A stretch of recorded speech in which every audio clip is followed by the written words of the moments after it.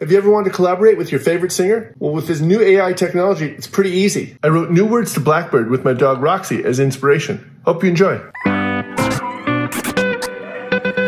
There's a doodle walking in the midday sun. And if I drop the leash, she'll start to run away. There she goes, goes. Down the street, she's running where she stops, no one knows.